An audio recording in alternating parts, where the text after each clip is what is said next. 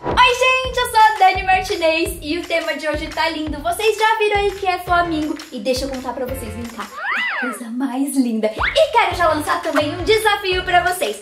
Hoje comentem aqui embaixo qual a ideia que vocês acham que eu vou fazer pra semana que vem. Qual o DIY da semana que vem?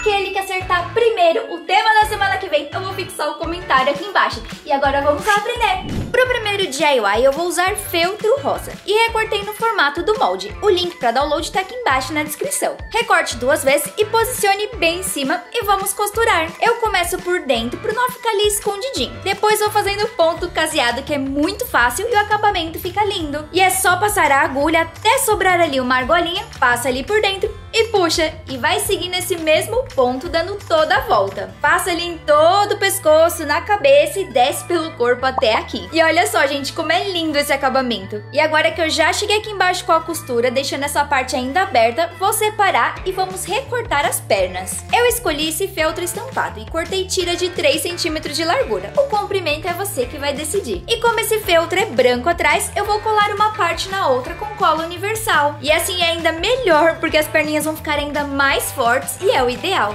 E vamos precisar de duas partes iguais a essa para colar no flamingo. Então eu abro aqui embaixo e colo ali por dentro as duas perninhas. E agora sim é hora de encher o nosso flamingo. Eu tô usando fibra siliconada e vou encher bem, deixando o pescoço bem firme e aqui embaixo fofinho. E aí é só finalizar a costura com o ponto caseado, fechando tudo. Para decorar eu recortei e colei feltro no bico, preto e laranja, e também fiz a asa com outro feltro estampado. E o olhinho, gente, eu fiz com tinta tinta relevo e já tá prontinho. Eu super gosto de criar coisas assim com feltro que ficam bem delicadas, né? Vocês aí também gostam? E esse flamingo lindo aqui, gente, é pra colocar na parede e aqui nessas patinhas super compridas dele, a gente vai colocar presilha de cabelo, tic-tac, o que você tiver. E aqui atrás, na hora de colocar na parede, eu coloquei uma fitinha aqui, mas tive que tirar porque ele não teve equilíbrio. Então eu coloquei da mesma forma aqui em cima na cabeça pra poder pendurar. E, gente, vocês gostaram desses feltros aqui todos coloridos? Eu amo feltro e já adianto pra vocês que semana que vem tem uma super novidade usando esse tipo de material, então fique ligado.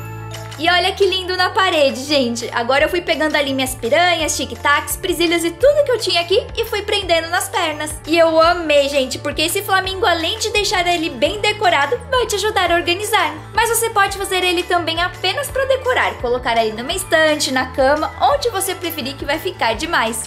E eu sei, gente, que vocês amam quando eu faço ideias reaproveitando o papelão. Então, a próxima ideia tenta super linda. Vamos! Eu peguei caixa de papelão no supermercado e essas aqui que tem dupla camada são as melhores. E aí eu recortei no formato do molde e vou encapar o meu flamingo com EVA rosa pink. Então cortei e colei ele ali em cima no mesmo formato com um pouquinho de sobra. E para cobrir o papelão ali da lateral, eu cortei tirinhas na mesma cor de EVA e colei em toda a volta. O acabamento fica super lindo. O outro lado aqui eu ainda não cobri. Segui o mesmo passo a passo fazendo uma segunda parte de flamingo. Porém, esse daqui, a parte principal, eu colei o EVA no lado inverso. Separe e recorte no papelão a medida de 15 por 22 centímetros. E usando um objeto redondo, eu fui enrolando o papelão para ele ficar assim meio arredondado mesmo. E vou colar os flamingos agora ali na lateral, colando papelão com papelão, finalizando bem ali na rabo. Ah, gente, eu já também deixei tudo encapado com EVA, a parte de baixo, de dentro, dentro tudo bem bonitinho. Agora sim, já escondi todas as partes do papelão e fiz uma asa com EVA com glitter rosa. E olha que lindo que ficou, gente. Falta só o rostinho. Para fazer ele eu tô usando um marcador preto e desenhei o bico e os olhos. E para sair ainda melhor, eu indico você desenhar antes com os lápis. E aí é só repetir o mesmo desenho do outro lado e tá pronto. E ali dentro você já pode organizar suas coisinhas. Eu já tô aqui testando para ver como fica. E olha que demais. E eu decidi usar esse meu flamingo aqui, gente, para colocar as minhas joias.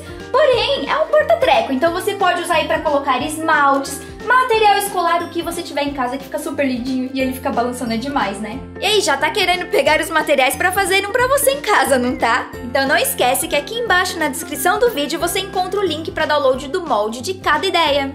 E a próxima ideia é para você que ama organização ou para você também que precisa urgentemente ser mais organizado. Depois que você vê que essa ideia é super fácil de fazer, vai querer fazer um monte. Vamos lá! Vamos precisar de tecido. Eu tô usando algodão na cor cru e vou estampar esse flamingo aqui nele. Para isso, gosto de tecidos bem clarinhos. Assim eu consigo ver o desenho ali embaixo e passar para o tecido. Primeiro eu começo passando com lápis para ficar mais visível, sabe? Lembrando, gente, que eu tô desenhando esse flamingo e vou disponibilizar a imagem para vocês fazerem o download. Mas você em casa pode fazer o desenho que preferir pegar qualquer um na internet. E eu tô colorindo usando a tinta relevo. E nessa ideia eu optei por fazer apenas o contorno. Mas você em casa também pode preencher todo o desenho usando mesmo a tinta relevo ou tinta para tecido. Também dá para fazer os contornos com caneta para tecido, fica muito legal. Ou ainda tem outras opções. Você pode recortar estampas de tecidos e colar ali, ou já comprar aqueles apliques termocolante que já vem prontinho e é só colar. Viu só, tem muitas opções para você estampar isso daí. Agora eu já terminei aqui e esperei secar por 24 horas. E ali embaixo eu colei uma fitinha com pompom para dar uma decorada. E para montar a nossa sacolinha, eu vou medir mais ou menos dois dedos ali em cima e passar cola universal ou para tecido ali no restante. E aí é só colar outro tecido igual do mesmo tamanho. Na parte de cima onde ficou solto, eu passo a cola na borda e dobro mais ou menos um dedo para baixo. Viro ao contrário e faço o mesmo. E depois que tudo estiver seco, é só desvirar o saquinho. Vai ajeitando bem ali e olha só que bonitinho que ele fica, gente. E eu já vou usar esse cordão rosa aqui e passar ele ali por cima. Eu ganhei, gente, esse passador aqui que é maravilhoso.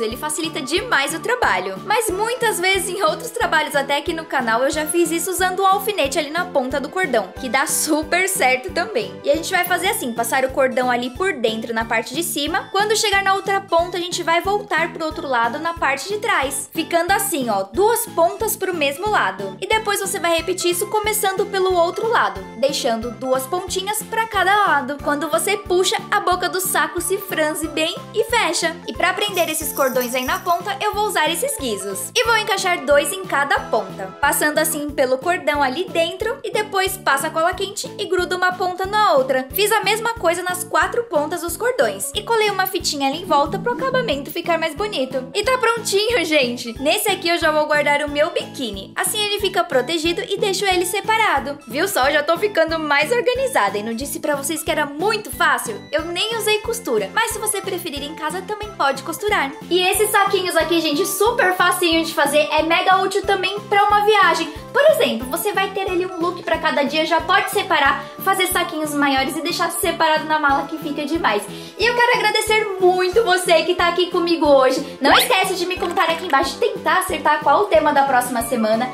E se inscreve no canal se ainda não é inscrito, né? Ativa o sininho pra não perder mais nenhum vídeo. E eu vou ficando por aqui. Beijo pra todo mundo. Tchau, tchau.